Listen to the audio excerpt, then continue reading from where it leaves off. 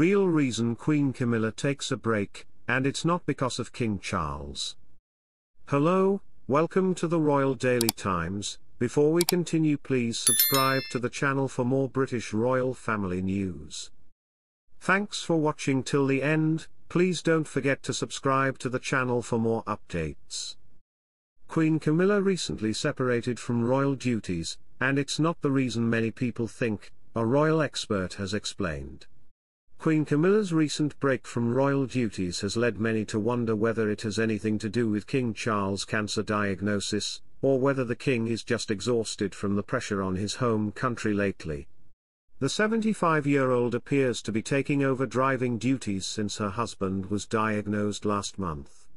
However, Camilla has decided to take a week off from her royal duties, but it appears the reason is not as it seems.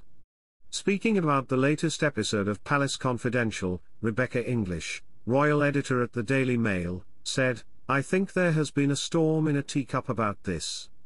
People were saying she is going to take a week off because she is so exhausted with everything that has happened over the weeks.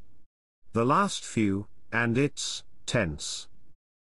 But, the reality is that she takes this week or a week off around this time of year, every year. Speaking about Camilla's annual holiday at this time of year, Ms. English added, she usually goes off and spends time with friends and family. My understanding is that she's doing the same thing again this year, and there were people saying well, should she? She's going to leave her husband, you know, while he undergoes cancer treatment.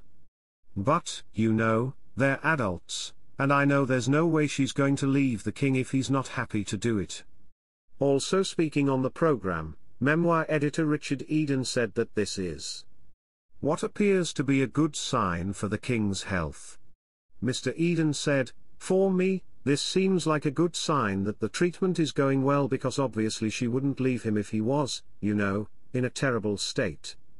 Also speaking about Camilla's break in the latest episode of the Royal Report, host Jack Royston described the royals as creatures of habit, meaning Camilla has a habit of taking.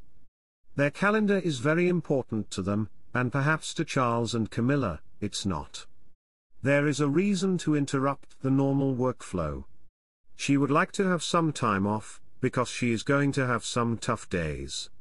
Queen Camilla is scheduled to lead members of the royal family at the Commonwealth Day service on Monday, March 11th.